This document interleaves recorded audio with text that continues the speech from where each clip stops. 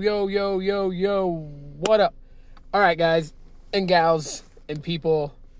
So, I thought I would do this quick live to kind of talk to you guys about which of the three carriers that I was using that was actually most dependable uh, when I went to go see my dad. It was kind of surprising. It yielded it yielded really weird results. So, majority of the trip I was using the AT&T Business Elite line and then um, my Visible line, which Visible is Verizon. Um, and you know, I really, I really felt like you know, I, I went with those two over my Google Fi line because Google Fi uses T-Mobile. It piggybacks off of T-Mobile's network. That's who they use. I mean, it piggybacks off T-Mobile and U.S. Cellular. Um, so I figured, you know, with Verizon, being uh, being good for travel, um, AT and T being good. I figured, you know, well, you know, it, it, it would be good, and and it was to an extent. It was. I mean, Visible was actually in third. Visible, you know, worked out um, to a degree, but there was um, there was times where it just wasn't reliable when I needed it. And so the AT&T Business Elite line was the one that I mostly depended on um, when using um, my phones when traveling. What's up, Gene? What's going on? So the shocker of all of it, the shocker of all of it is that um, when I was heading back from Oklahoma back to Arizona, I decided to go ahead and just download the eSIM from my Google Fi line onto my Pixel 5 and it shocked me because it was mostly connected to T-Mobile. It you know it didn't it didn't smart switch to U.S. Cellular often. I mean, in Oklahoma it did, but right when, you know when when traveling, right when I got into the uh, the Texas Panhandle, it was just mostly reliable uh, relying on T-Mobile's network, and that that was shocking. That that was the one that was the most reliable. it was the most reliable. I was like, wait a minute. And it wasn't even on 5G because if you run dual SIM DS DS on a, on a Pixel 5, then 5G is not accessible. It only can connect to um, Google Fi 5G if it's just a single SIM on the phone. So if you have the eSIM uh, for Google Fi and then another carrier SIM in there, 5G won't turn on. So it was only on LTE, and it just surprisingly was uh, connected most of the time. Like throughout the trip, there was areas where like Visible just completely had no connection, and then there was areas where, you know, for AT and T Business Elite, which has a high QCI level, it just for some reason just wasn't uh like it had de- it had dead spots, but the one that that uses T-Mobile's network, which is Google Fi, that had to be the one that stayed connected um, from Oklahoma all the way back to Arizona. So that was that was a shocker. That was an absolute shocker. I was not expecting that at all whatsoever. So, um, yeah, I, will say this that um, you know, along with what you know Sneed's been showing, because uh, I I seen his videos, he's been talking about T-Mobile and you know uh, N41 connections and you know how how that's been looking, and um, you know, I can pretty much validate what he's saying. Um, that T-Mobile is getting better, you know, which is good. I mean, that's what we wanted all along, was for T-Mobile to get better, and it looks like that that's happening. So that's always that's always good. Um, on top of that, I don't know if I'm going to to do it tonight. I probably won't do it tonight. Um, maybe. Let's see. I'm going to be really busy tomorrow, so I'm not sure. I don't know. I, I may jump on late tonight on a YouTube live stream and talk about the days of the you know the good old stuff that Google Fi used to do. Um, the, the, the cool things about Google Fi and why I like them and everything like that. I'll probably be like the first live stream that I do on YouTube to kick off 2021. Uh, I might do that tonight. What's up? What's going on, man? Nothing much. Um, I might do that later tonight because tomorrow I'm gonna be like hella busy, so I probably won't even have time to do a live stream tomorrow on YouTube. Um, but yeah, uh, of my findings, Google Fi from this uh, vacation trip was more dependable, and I should have, I should have had it connected to my Pixel Five while I was in Oklahoma those those couple of days.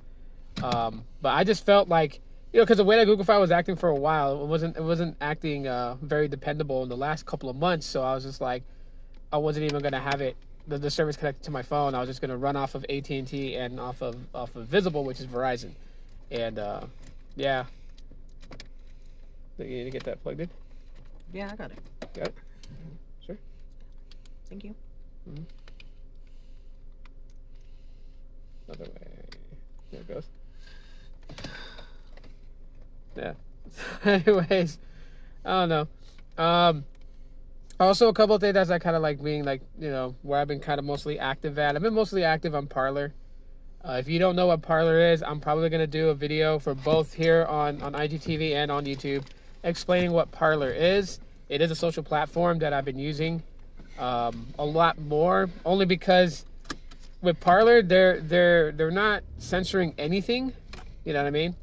Um, Parler is very similar to what Twitter is, uh, minus the stories that Twitter just recently got, which they called their fleet, their fleets or whatever.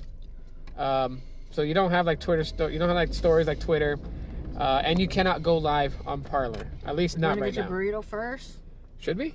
or go to the store first? Uh, what time does uh, Pete's Fish and Chips close? Ten. Ten. Uh, we have time, right? To go to the store first. Let's look at your burrito. Where do you want to go shop at? To your store. My store. Yeah. Just check it out. But um yeah, so Parler is actually kind of like Twitter, you know, you, you post your post. Um it, don't be intimidated by it if you guys, you know, especially those that watch the replay, if you guys are like interested and want to go check it out. Like, yes, it's very political. A lot of people share their, their political opinions because it is a social platform that's not censoring anybody and not hiding anybody's posts. You know, as long as you're not cyberbullying anybody or, or uploading um, inappropriate photos or videos, then you're good, right? So no illegal photos and videos and no death threats and cyberbullying, you're golden, right? You can say that you're a Trump supporter, you're good. You can say you're a Biden supporter, you're good. You can say what you can say whichever political thing you want if you want to talk politics on there. But you don't necessarily have to talk politics. I post, you know, photos about my family. I just I do what I what I do on Twitter. I do it on Parler. I just know that whatever I post on Parler is not going to be censored, and that's the reason why. You can turn on music, babe. That's the reason why that um you know, I use it. So I haven't been very active on Twitter, um, but you know, I haven't deleted my Twitter account. And uh, MeWe's like a bust. I gave it another try again, but MeWe's just like, ugh. I don't know.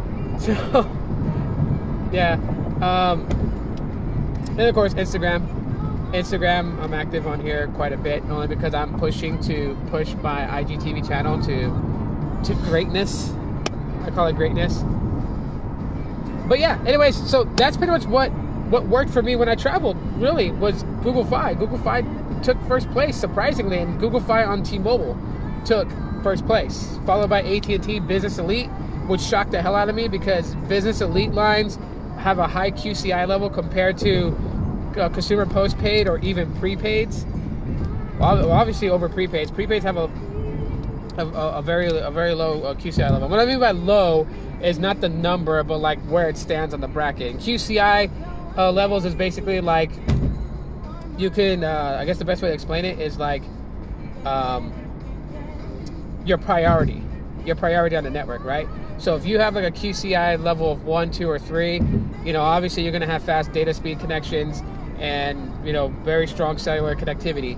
Um, prepaids usually have a QCI level of like eight, nine.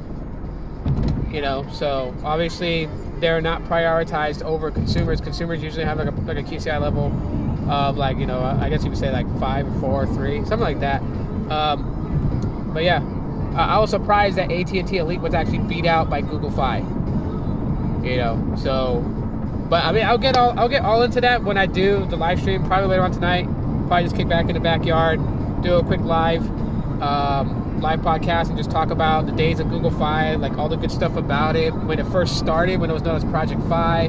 Uh, some of the cool things that you could do with it, like I don't know if, if, if, anyone remembers, but if you wanted to have an all-in-one app, like your phone calls, your text, your chat, your video calling in one, Hangouts was like the app to use on Google Fi because you could connect your, your Google Fi number to Hangouts and use uh, if you use the Hangouts um, the Hangouts dialer app, and basically you could do phone calls from Hangouts, you could do text messaging from Hangouts, and then you could do like chat from Hangouts, and you could do video calling from Hangouts, which you know, uh, video calling on Hangouts wasn't nearly wasn't that good. Um, it's not as good as Duo is, but I mean, you know, I'll be talking about that later on. Um, just the good old days of Google Fi to what it's become right now. There's no audio? No. Well, I'm about to jump off anyways, but um, yeah. So be on the lookout for that. I might do that. I'll, I'll tweet it out. I'll tweet it out if uh, if I decide to do a quick live tonight on YouTube, just kind of recapping the glory days of Google Fi, to just be like my first podcast of 2021 on YouTube. Because um, right now, um, me and the missus are gonna go head over and get some get some food, um, groceries, groceries, and that's pretty much that. You had a good time at the protest. No, Hangouts does work with Gmail.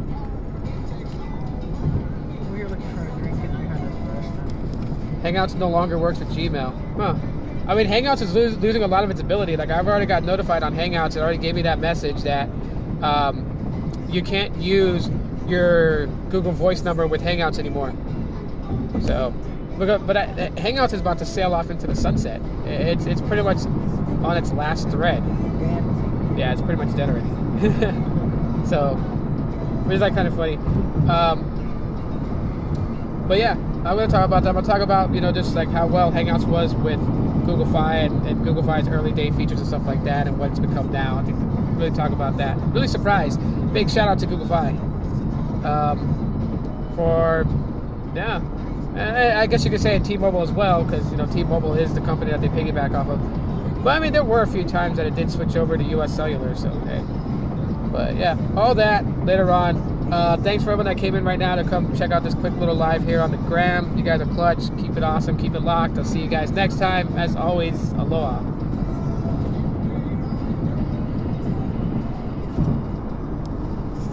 Why is it trying to invite myself? it was like it came up. It was like invite me. Like why is it gonna invite me? I'm running this.